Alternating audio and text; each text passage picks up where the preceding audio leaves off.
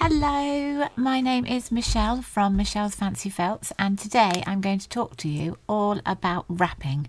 Now, don't worry, I'm not about to bust out some tunes or anything like that, um, and it's got nothing to do with Christmas, but it is all to do with making the insides of any of your felties. Now, this is specifically with reference to the Easter wreath bunny. Um, so, if you've bought that kit, um, then I do say if you get stuck with the wrapping, then come and have a look at this video. And that is, this is that video.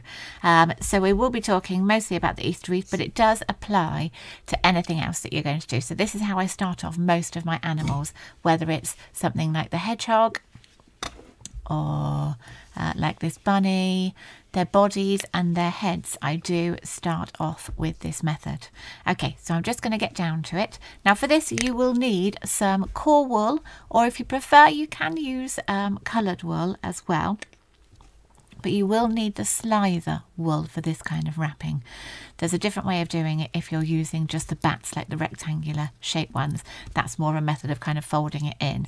Um, but with the slither, uh, which is what I like to use best for this, you will uh, um, you'll need a skewer, some core wool, or coloured wool. It sometimes works out about the same price anyway, depending on where you're from. And you'll need some needles. Now, I like to use a three needle holder Sometimes I use a pen tool, but for the main part I use this. But if you don't have that, as I say in the Easter wreath kit, you can get an elastic band and just elastic band a collection of your needles together. Um, and that does help as kind of like a budget multi-needle tool. So first of all, you're going to take your um, core wool and your skewer and unravel it a bit if it's all tied up. And what you're going to do, put your skewer just close to the top of your core wool and you have the, your fingers behind it. Your thumb in, will be used in front of it in a moment but first of all we just fold over this side. Now these skewers are really handy. I managed to find some square skewers. They're just from Amazon and they have this little handle which makes it much easier Sorry, Harriet's a bit shouty. Um, you can use it with circular skewers, but you just find that they start, um, they, to start off with, it's a little bit tricky to get going because they wiggle it around. But you see with this one, because it's square, if you're pinching it nice and tightly, it does actually start just pulling it, wrapping it round by itself. Um, but we just need to give it a little bit of help. So you start off, have that at the top, skewer on top, fold it over. Now sometimes you might be working out the top of your head so you just decide by eye or if you've done a sketch as to how much you need. Um, but we have it for uh, with a template for the Easter wreath. If you have a look on here, you'll be doing this size for when it's unfelted. So that's the kind of shape that we're looking for. It might be slightly smaller if you wrap quite tightly. It might be slightly bigger if you wrap quite loosely, but that's the rough shape that we're going for. Now, the, we want to really keep it super tight because that means that you don't have to do quite as much stabbing um, as you uh, go on later, so it saves you some time. Okay, so holding it nice and tightly, thumb on top, fingers around the back, and you're just going to start turning your skewer. And you see how that's just caught it nice and quickly, but I'm keeping it nice and tight. You see how tight that's going? And I'm going to wrap it three or four times like this. Now you see how my um, slither is actually twisted there? You want to have it nice and flat. You always keep it on the flat. Um, and now we're going to go up because this isn't tall enough for my diagram. So we're going to take it diagonally like this and go up the skewer. Now when you do this, this bit at the top gets a little bit saggy. So if you kind of push that in with your thumb, and just keep wrapping and keeping it tight. So if you find you have got a saggy bit, you can go over it a little bit with um, your wool and tighten it up or just unravel it and go back to where it was loose. So I'm going around a couple of times. I'm going to measure it against my template. Yes, that's the right size now. I'm going to go around a couple of times up here and now I'm going to take it back down again to the bottom because with the Easter Bunny we need it with quite a fat bottom got it tangled there. There we go. That's it. We'll sort that. You want it quite a fat bottom. So the bottom bit, we're going to go round three or four times. Um, so a little bit more than we did at the top. And now we're going back up to the top again. And this time, because we want it a cone shape, don't go up quite as high as you did before. And then we're going back down again. Now I've got a bit of a lumpy bit because I've done it and foolishly didn't use my good microphone. And so I'm just redoing it again. So you shouldn't have that lumpy bit. But that can all just be stabbed in and I'm just going to take it round and round on the bottom part now like so. And then if you ignore that bumpy bit, then we've got about the same shape as we have on that diagram. Okay, and then what you can do is with these ends, if we just let go of it, it's just going to unravel. So what you have to do is take your needles and do a couple of stabs up and down and that just holds it then, then it's not going to unravel. Now, if you find that a bit tricky, because I've been doing it lots and lots and lots, so obviously I'm, I'm used to it, but to start off with, it is quite fiddly. So just keep practicing, unravel it if you find it's unravelling as you're going along, you can just stop for a minute, give it a couple of stabs, and that will just hold it in place for you. If you find it's getting really saggy, unravel it back to where it was it was tight and just try again, or just completely unravel it and start again. It sometimes just takes a little bit of practice. Now, when you are finished, don't just yank it off like that because you sometimes leave the insides behind. You take the bottom and just push it up from the bottom, pulling your skewer out, and then you have your shape. And then according to the um, as by the instructions we just go along stabbing and stabbing and stabbing until it gets to the right shape okay so that's how we do it on a big shape and depending on what size you want say for the hedgehog we just go round and round and round on that one bit to make a nice fat short little body um, so it just depends on, on how tall you want. I did a weasel yesterday, so that was obviously quite tall and skinnier.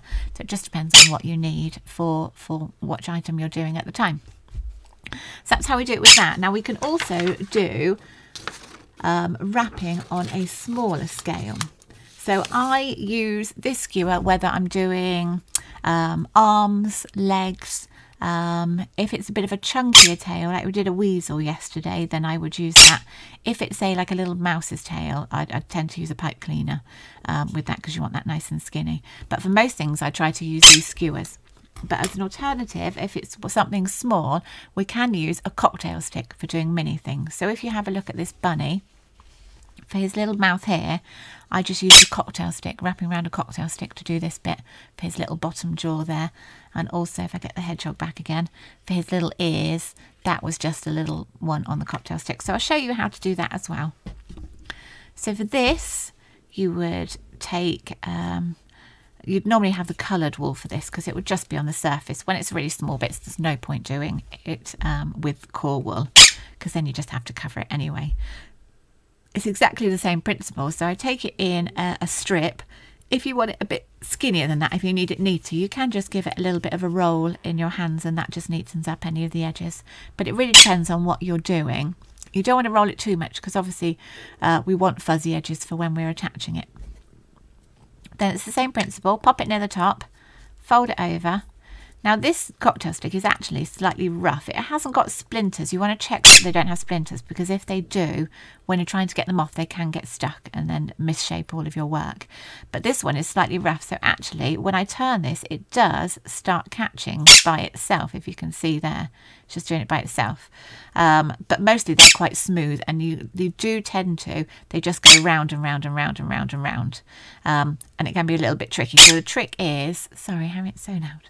The trick is fold it over and you put one finger behind, your thumb in front, and then I just hold that very edge of wool. Can you see there's a bit of wool there? I'm holding that and I'm actually turning that bit of wool and that helps catch it. And then when it's caught, you can just turn the cocktail stick. You don't need to be turning the wool, but you just need to get it caught to start off with. And I'm keeping my hands on it so it keeps nice and tight. And when you get to the end, if you just let go, it would just all come apart. Um, and also it's quite small for you to be able to needle felt in there. You could do a couple of gentle jabs, but you don't want to be snapping your needles.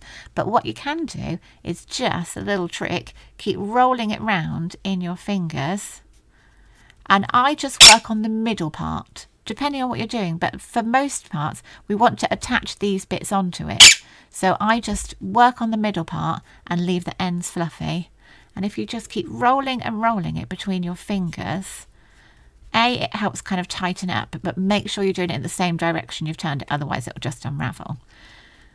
But not only does it help tighten it up it also felts it to itself. So when you let go of it it doesn't unravel. And then like we did before just push it off. Sometimes it's a little bit tricky. And there you have a little sausage and then depending on what you do that could turn into an ear that could turn into so for the bunny that was like his bottom lip.